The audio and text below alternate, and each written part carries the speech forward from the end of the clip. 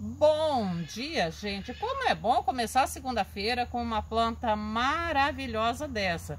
Apresenta Jang Long, que é essa que cada flor dela é única e exclusiva. E hoje o Frajola tá ali morrendo de ciúme, que eu quero apresentar para vocês a recém-adotada. Ela está nos adotando.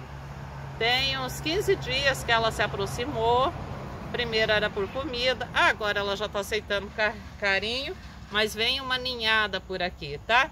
Quem gosta de plantas, gosta de animais, trata bem os animais, trate os animais que te adotam, trate os animais que se aproximam de você. Eles querem comida, eles querem carinho. Seja gentil com eles, assim como a gente é. Aqui, ó, mais uma coisa mais linda que a gente acabou de adotar. Falou, gente? Oi, frajolinha! Tá vendo? Ele tá com ciúme, mas tudo bem, tem espaço para todos. Jang Long, como eu falei, olha a flor dela e olha a outra flor dela. Duas flores da mesma planta. É a flor, é a planta que produz flores mutantes. Cada flor dela é um desenho, é uma cor. Espetacular. E aqui dá licença, Frajola. Frajola não quer mostrar para vocês a primeira lei de cultivo, só recapitulando. A primeira lei de cultivo fala que, dá licença, tira a frajola daqui para eu trabalhar. A primeira lei de cultivo fala que a planta rosa do deserto é planta de sol pleno.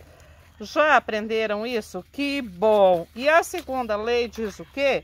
A segunda lei fala que a rosa do deserto precisa de um substrato muito bem drenado. Aquele substrato que você molha num dia e no dia seguinte já vai estar tá bem sequinho, como esses daqui que a gente tem aqui para mostrar para vocês. E hoje nós vamos ver como é que anda a recuperação das plantas de caldex murcho, mas como me falaram que eu estou só nas amarelas, então nós vamos aqui na maravilhosa Red Cliff.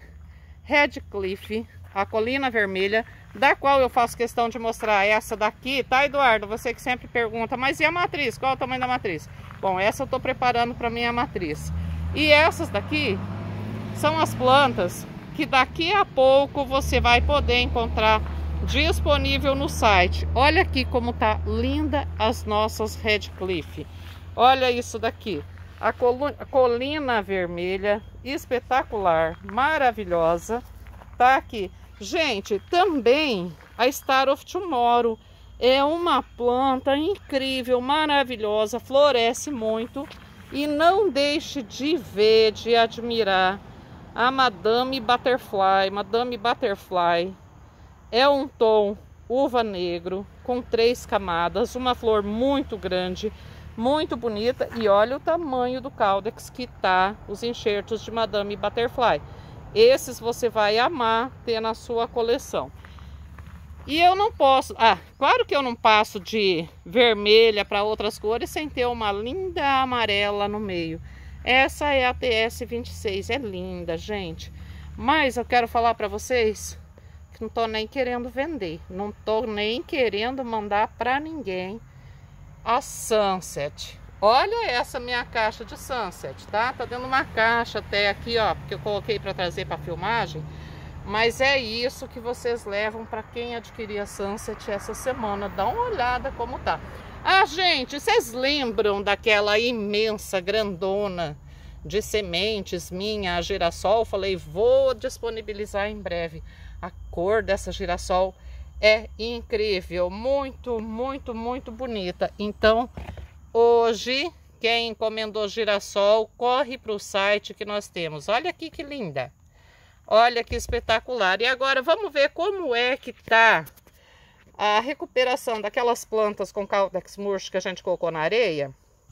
Então, gente, todo mundo está perguntando como é que está se comportando as plantas que a gente está trabalhando a recuperação de caldex o caldex murcho, o caldex tipo maracujá de gaveta, que murchou muito mesmo antes de eu começar a recuperar elas. Que nós estamos fazendo o experimento, a planta tá só na areia grossa. Tem mais ou menos uns 12 dias hoje que eu fiz a primeira filmagem, que foi o dia que eu tirei elas do substrato e coloquei na areia. Bom, para o caldex em si, esse período ainda foi pequeno para é, recuperar a turgidez, o entumecimento para ele ficar firme. Porém, eu já vejo aqui, ó, tá vendo? A ponta da planta já está apresentando nova brotação. Olha aqui, ó, já são até três brotinhos nessa daqui. Essa daqui eu já vejo folha nova na ponta, mesmo que o caldex ainda permaneça murcho, porque ele estava realmente um maracujá de gaveta, eu já vejo folha nova. Então, o aspecto geral é muito promissor.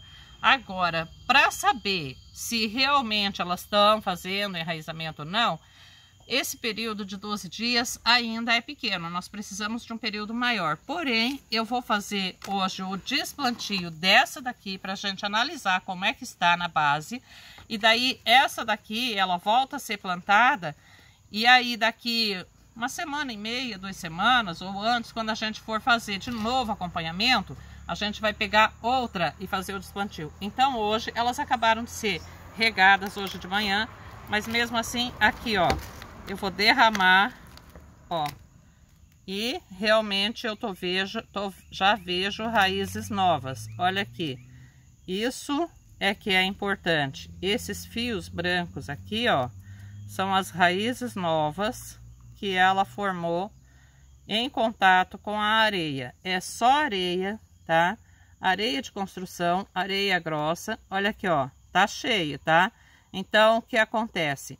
Está propiciando, está favorecendo, favorecendo a formação dessas raízes novas que realmente saíram aqui dentro da areia. Então, é, olha aqui, ó, isso é, é uma raiz mesmo nova, muito bonita. Então aqui ela ainda está com aspecto murcho, mas ela já está enraizando. Então, período de duas semanas é muito pouco para resultado, porém já mostra a excelente evolução. Então ela vai voltar para o mesmo vaso, as outras continuam. No total, são seis plantas que nós estamos trabalhando. Só trouxe quatro para cá, porque as outras duas são vaso maior e areia é pesado. Mas vai continuar o experimento daqui 10, 12 dias, conforme forem surgindo os temas e forem sendo tratados, eu volto nessa daqui, aí vai ser uma das outras. E não esqueça, tá? Foi um prazer mostrar para você aquele trabalho maravilhoso no, do, da sexta para cá sobre o biofertilizante, mas tá aqui para você pegar hoje no site linda e maravilhosa a girassol.